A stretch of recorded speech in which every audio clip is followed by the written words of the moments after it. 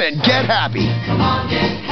The Partridge Family is coming to DVD for the first time ever. Hey, that's great. This is Danny Bonaduce, also known as Danny, the cutest partridge. And I'm telling you to get on the bus with TV's favorite musical family. All right.